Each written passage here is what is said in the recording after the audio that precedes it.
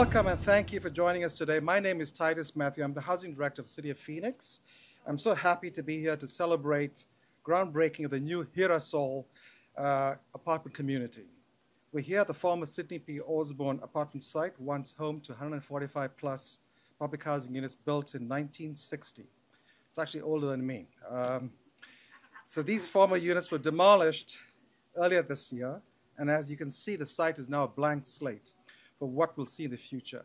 Girasol mixed income apartment community offering affordable and market rate units. Since last year, community engagement team had encouraged former Sidney P. Osborn and Edison Eastlake residents to help come up with a new name for this community. Through various promotional efforts, including brainstorming concepts on flip charts, documenting memories from Sidney P. Osborn community at a storytelling workshop, and gathering naming suggestions at a community events in Edison Eastlake community newsletters, a theme resonated with residents, Girasol, the Spanish translation for sunflower to represent resilience and new growth. In addition, sunflowers were grown and flourished in the former Sidney P. Osborn Community Garden.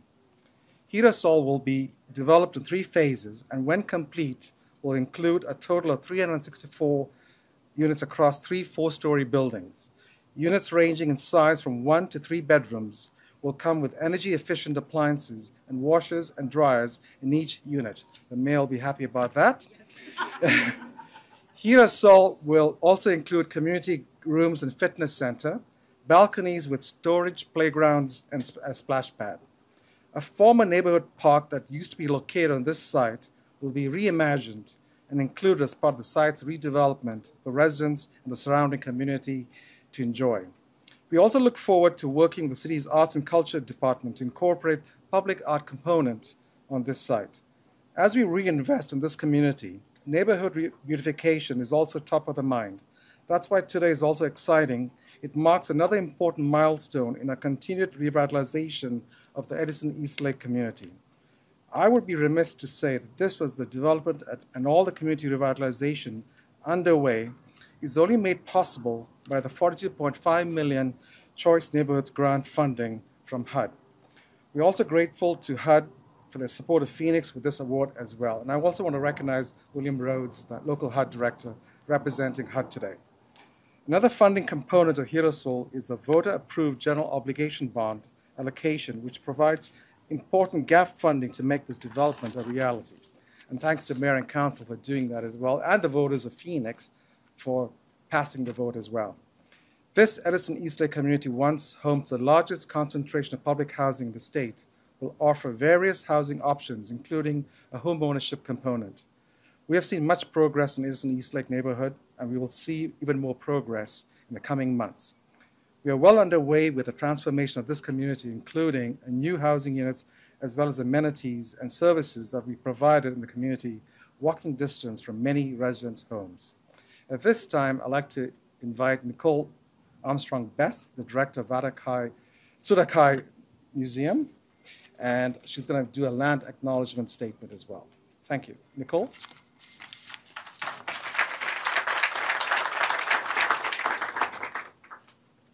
Good afternoon, everyone. How's everyone doing? Excellent. Good.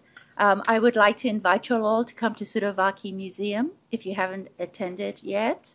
Uh, we just reopened with a brand new renovation, so come on out. Um, it is my pleasure to read the uh, City of Phoenix uh, Land Acknowledgement Statement now. The Housing Department acknowledges the City of Phoenix is located within the homeland of the O'odham and Piipaash peoples and their ancestors who have inhabited this landscape from time immemorial to present day. The landscape is sacred and reflects cultural values central to the O'odham and Piipaash way of life and their self-definition. This acknowledgement demonstrates our commitment to work in partnership with the ancestral indigenous communities to foster understanding, appreciation, and respect for this heritage. This land continues to be spiritually connected to the O'odham and the Salt River Pima Maricopa Indian community and the Gila River Indian community, both of which are confederations of two unique cultures with their own languages, customs, cultures, religions, and histories. These places are tangible reminders to the O'odham and Piipaash about shared attitudes, goals, and practices that characterize who they are, where they belong, and how they relate to each other in the past, continuing today and into the future. The Housing Department is committed to honor the vital meaning and intent of this land acknowledgement statement. Thank you. Thank you, Nicole. Next, I want to introduce Mayor Kate Gallego, and congratulations on being reelected. And so Mayor Gallego is the second elected female mayor in Phoenix history and the youngest big city mayor in the United States. Prior to serving as mayor, she served as a councilwoman for this particular district where this development first started. Strongly advocating for the Edison Eastlake Choice Neighborhoods community from the start, she's been focused on creating the Phoenix of the future, a welcoming, thriving city with high-wage jobs and opportunities for all. As mayor, she focuses every day on getting things done for Phoenix families, is passionate about building a Phoenix that works for everyone and increasing the quality of life for all Phoenicians. She'll also be the first person to tell you that her most important job is being mom to her son. Mayor, welcome.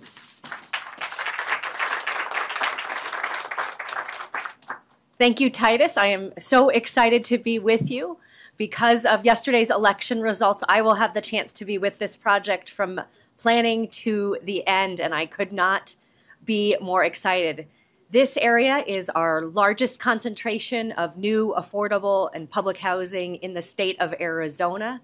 Today, we break ground on Girasol, which will celebrate beauty and resilience. A garden that once was here with sunflowers will become a whole project inspired by it. When I first began my journey here, I was talking with the residents. They were kind enough to invite me into their homes, and they pointed out some opportunities to improve. Uh, they, Titus mentioned how excited I will be about washing machines and dryers. Uh, that is because the residents said we got to dry our clothes by hand, and that is not acceptable in this century they told me the windows didn't let in enough light for their kids to do homework.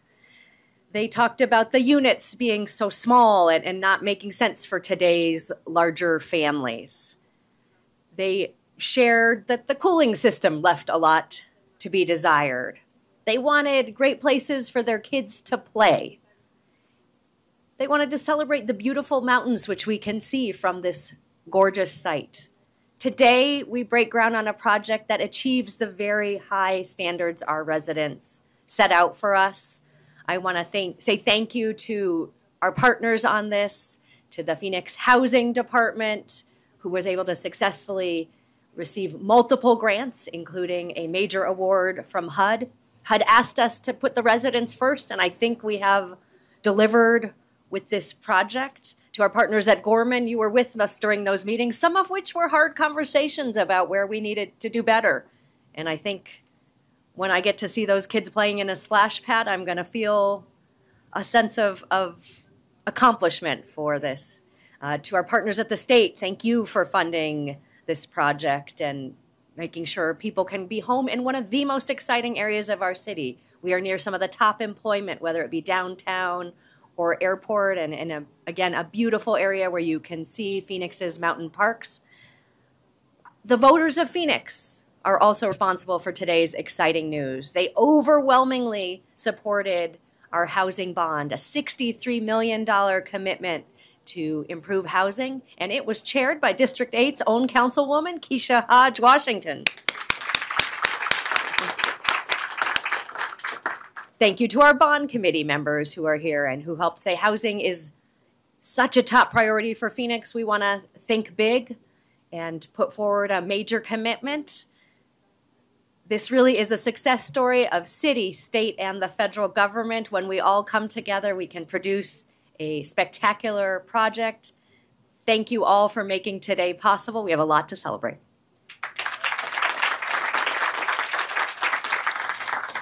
Thank you, Mayor. Next, I would like to introduce Councilwoman Kesha Hodge Washington. She has served proudly as District 8 Councilwoman since April of 2023. She's the first African American woman elected to the Phoenix City Council. Councilwoman Hodge Washington's top priorities in the district are homelessness, affordable and attainable housing, go housing, uh, economic development as well. She's a graduate of Arizona State University College of Law and a former Assistant Attorney General. Councilwoman Hodge Washington is a passionate leader committed to our community's constructive development. And also, she's been a champion of affordable housing as well. Councilwoman Kesha Hodge Washington.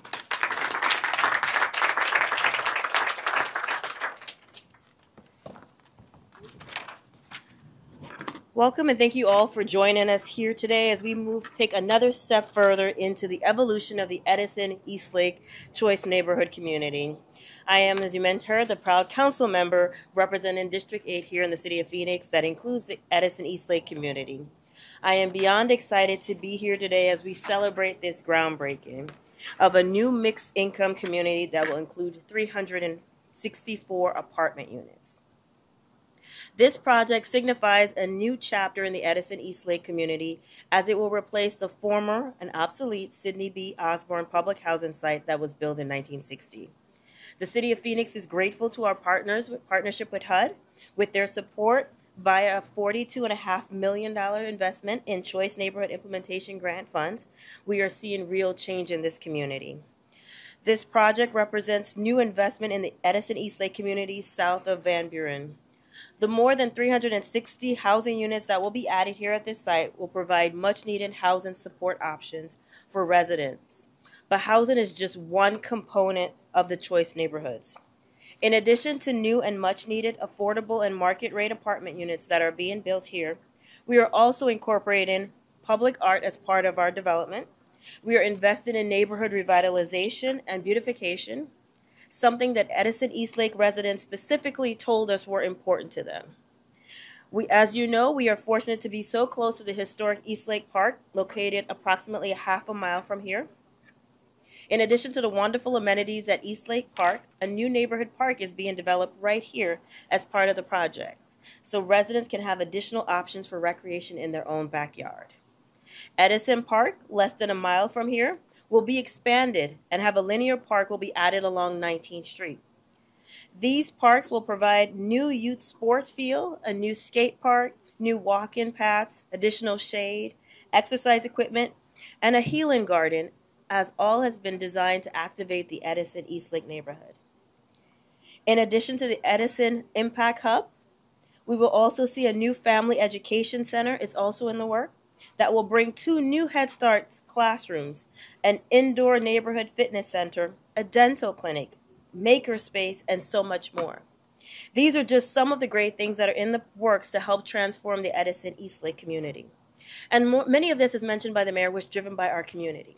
We believe that community is communities and neighborhoods should be places where you can live, work, and play. And I wanted to give a quick shout out to the neighborhood organizations that have been corralling and getting the input from the community because you're helping us design a project that works for the needs of our community. We have definitely seen the importance of private and public partnerships in this, and this will be, I think, it'll be a standard for many other communities to follow. Our partners at Gorman have, like the mayor mentioned, have been just welcoming and accepting to these changes. We also wanted to thank I also again wanted to say a thank you to the voters who supported the last year's general obligation bond. Many individuals we know uh, affordable housing and attainable housing is one of the key initiatives or focus that our community wants. And they actually gave us the, the tools necessary to make these projects a, a reality. They dedicated by passing the bond, they directed more than 21 million to the redevelopment of this project. So with the renewed investment in the Edison Eastlake community, we are improving the quality of lives for residents that call this neighborhood home. It is truly an exciting time for this community. We are proud of all the work we've accomplished to date and look forward to our continued progress. That is what makes today so special as we break ground on Girasol.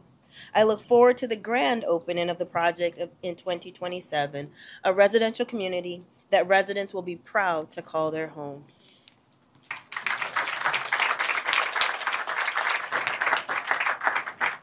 Thank you, Councilwoman. Next, I'd like to introduce Mr. William Rhodes, who is our field HUD director. We work in great partnership with the local HUD as well as the national level as well, so thank you for being here as well. Mr. Rhodes has been with the Department of Housing and Urban Development for 10 years and is the director of the HUD Phoenix office. Previously, he was a division director for the Los Angeles Office of Public Housing. In his current role, he's responsible for monitoring the performance of all PHAs in the state of Arizona. William is a 20 year veteran of the United States Air Force and has worked for the Chicago Housing Authority as well. He's also a certified scuba diving instructor. That's one of his passions as well. So, Mr. Rhodes.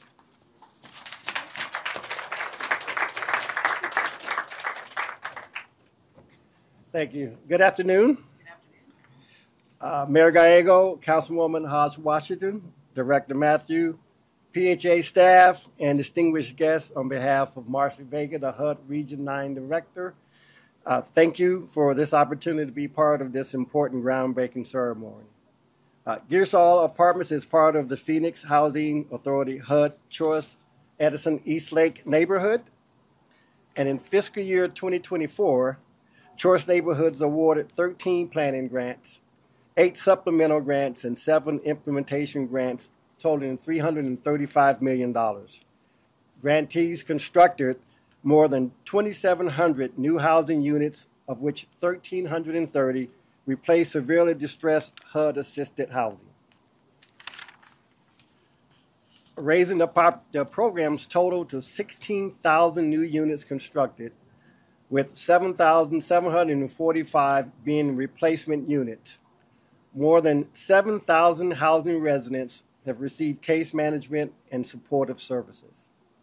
Since being awarded a $30 million Choice Neighborhood Implementation Grant in 2018, the City of Phoenix has made significant strides in transforming Edison Eastlake into a vibrant, mixed income community Recently, HUD awarded an additional 2.5 million supplemental grant to the Edison Eastlake neighborhood, which will support further developments, including new housing, expanded public spaces, and enhanced community services, all furthering HUD's mission to create strong, sustainable, inclusive communities and quality, affordable homes for all. And HUD is proud to be a part, a partnership with the City of Phoenix.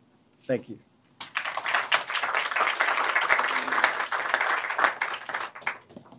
Thank you, Director Rhodes. Next person I want to introduce is Ruby Dhillon Williams, who's the Assistant Director of the Department of Housing in Arizona. Ruby is, she previously worked as Assistant Deputy Director of Housing and Community Development, overseeing multiple programs and served as Rental Programs Administrator. Ruby is a progressive leader with more than 20 years of experience in public and private sector housing development. Ruby? Good afternoon. Thank you so much for having the Arizona Department of Housing here. Uh, Mayor, thank you so much for your commitment to supporting our efforts at the Housing Department. Councilwoman, thank you so much, Titus, and also to HUD. Um, I am here today on behalf of Director Joan Serviss and Governor Hobbs. Um, as you all may know, Governor Hobbs made a significant investment in Arizona housing and really wanted to make sure that Arizona uh, Arizonans can call any at any housing level of affordability home. And we are a very people centered government, and we are working very hard at the housing department to make that happen.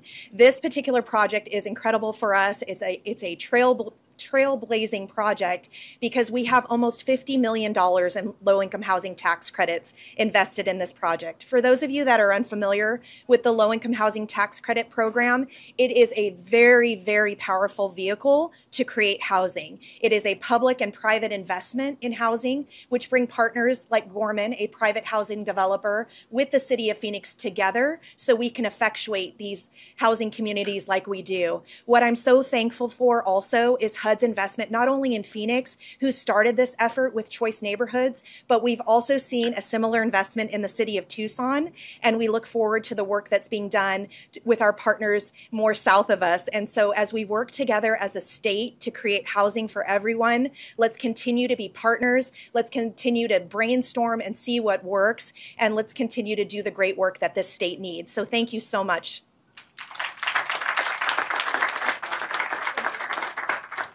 Thank you, Ruby, but just a final note, we're doing better than Tucson. I knew that was coming. So next, I'd like to introduce Brian Swanson, President and CEO of Gorman and Company, who partners with us on this particular project. Brian has been the CEO of Gorman since 2018, after serving as Arizona Market President since 2008, where he led the design and construction of 1,000 housing units across Arizona. He's also spearheaded the redevelopment of some of the first public housing units in the United States using HUD's Rental Assistance Demonstration Program. Before joining Gorman, he held leadership roles in the nonprofit sector. And Brian has been a great partner and a friend as well in helping us succeed in what we're trying to achieve here today. Brian?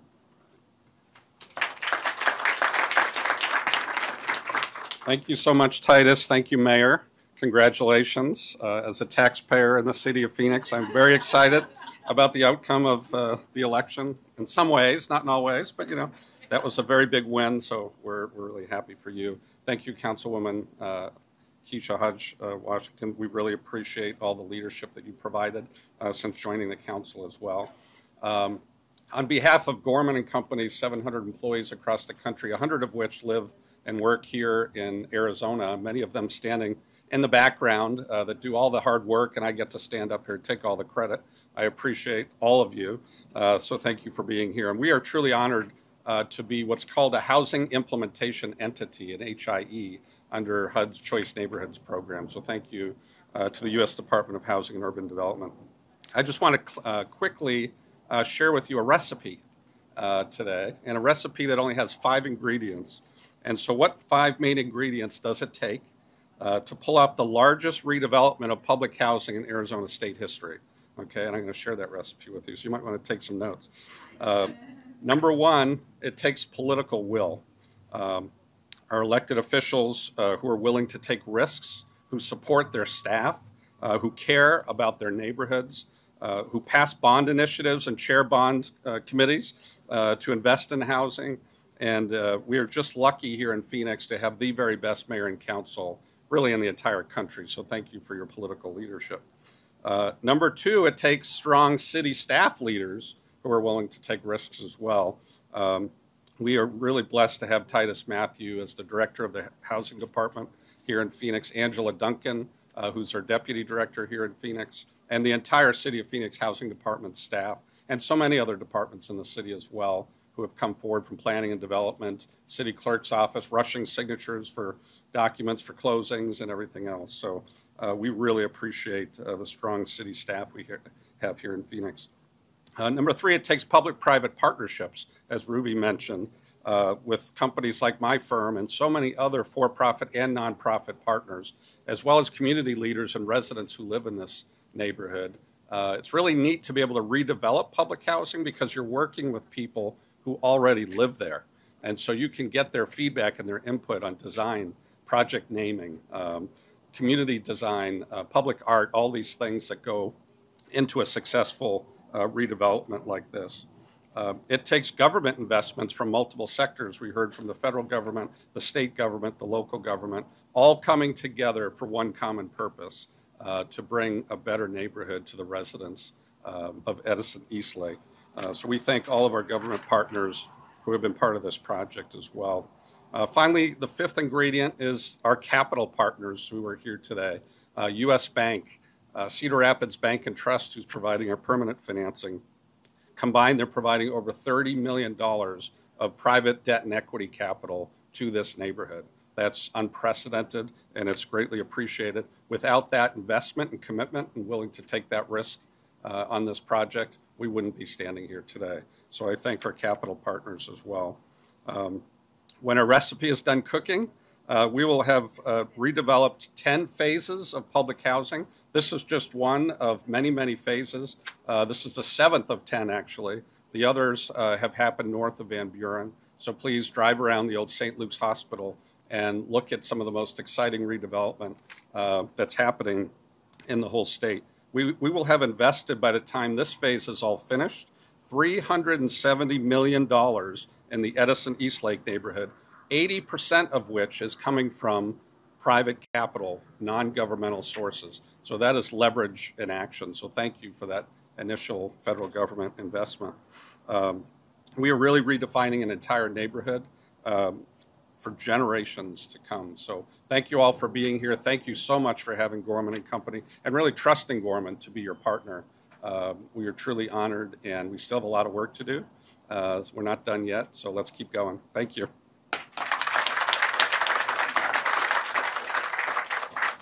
I've been trying to convince Gorman and Company to move their headquarters to Phoenix, but we'll see if that happens or not. So next I'd like to introduce uh, Maria Collazo, who is a resident member of this community. She's been very active and taking part in neighborhood engagement community, community events. And, and I'm going to bring her up here to talk to you as well. She'll be talking to you in Spanish. We'll have her translated. As, so Maria has been a dedicated member of Sidney P. Osborn community since 2013. A single mother of four, Maria moved to the area in 2010, living in the former Frank Luke homes until she relocated to Sidney P. Osborn to better support the medical needs of a younger son. She is deeply involved in the community, serving as a former member of the Neighborhood Association, participating in the community garden, and as a valued member of the Edison Eastlake Resident Leadership Council. Maria has been seeing the children grow and thrive in the neighborhood and looks forward to seeing the community flourish. In 2018, she celebrated a milestone when she received a permanent residency. Maria's commitment to her community is a testament to resilience and passion for making a positive impact. Maria?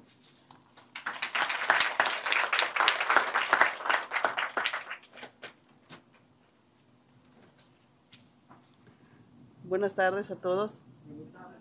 Good evening, everybody. Yo soy María Collazo, My name is Maria Collazo. Orgullosa de mis cuatro hijos. I am proud of my four children. Eh, yo llegué aquí a la comunidad de Phoenix en el 2010. I arrived to this community in Phoenix in 2010. Eh, yo he enfrentado desafíos a partir de esa fecha, especialmente cuando soy una madre soltera con tres niños con discapacidades. Since then, I have faced challenges, especially because I am a single mother with three children with disabilities. Pero yo he tenido bastante apoyo de la comunidad, But I have a lot of uh, support from the community, de la ciudad de Phoenix, de ahora de los apartamentos Gorman. for the, from the city of Phoenix and now from the Gorman Apartments. He tenido bastante crecimiento y desarrollo a partir de que me involucro yo en las actividades comunitarias. I, I am involved in community uh, uh, things, in community meetings, and I have had a lot of growth. a Estudio mi segundo idioma. I am learning my second language. Estoy haciendo un segundo paso para mi ciudadanía. This, I am doing my second step for my U.S. citizenship. Estoy esperando mi celebración el próximo, el próximo fin de semana. Next uh, weekend, I'm going to have my uh, ceremony, U.S. citizen ceremony. Gracias. Thank you.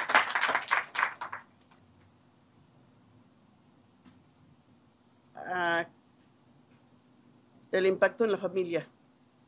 The impact in my family. A mis hijos ah, terminaron la high school. Mis dos hijos mm, después de la mayor. La mayor se independizó. Two of my children finished high school, and my oldest daughter, uh, she became independent. y muy orgullosa de mis cuatro hijos. And I am proud of my four children. Agradecida con el programa, no tengo palabras para decir muchas gracias a todo el personal. I am thankful with the program. I don't have words to thank this program. Actualmente ah, ah, pertenezco al grupo de RLC, Currently, I become uh, to I become to a group that it's called RLC. ahí aprendo a defenderme y ayudar a las madres solteras como yo a defenderse.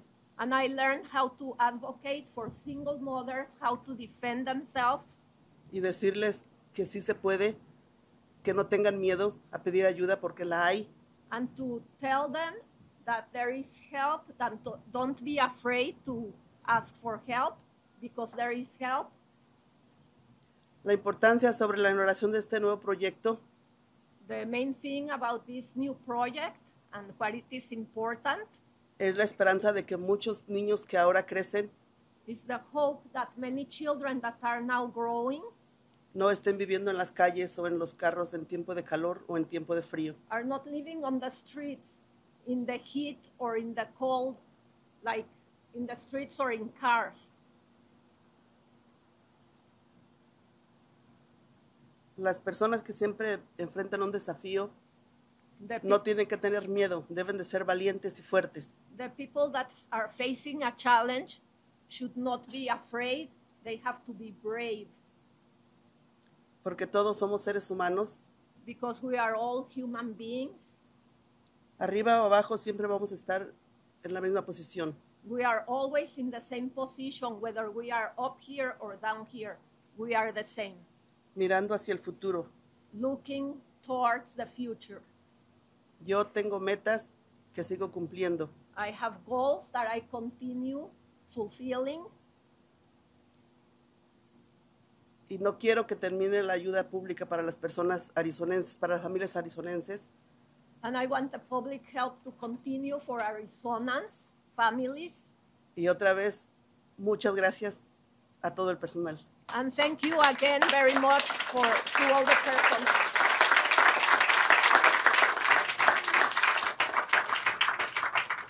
Thank you, Maria. That was wonderful. In closing, I'd like to thank our current resident leaders, in addition to our many partners and stakeholders, and of course, the Housing Department team under the leadership of Angela Duncan has been working on this project. We're so passionate about the work they do for the Edison Eastlake community for being here today. Also, many thanks to our funding partners for the commitment to the development of Girasol. I'd also like to acknowledge Jackie Berry, Eva, who are here in the audience, and Carl Oberg with the Pride Board for being here today. So thank you very much for being here today, and all the other partners out there as well. I also want to recognize the Walking Beat, who've been very part of this community and helping us manage and get successful outcomes as well. We are excited to continue the momentum transformation of Girasol as well as other exciting changes that will be coming to Edison Eastlake community. While we celebrate the groundbreaking today, we look forward to having you return when we celebrate Girasol's grand opening in 2027. Thank you to all of our speakers today. We'll now head over to turn some ground and take a few photos Two, well. one.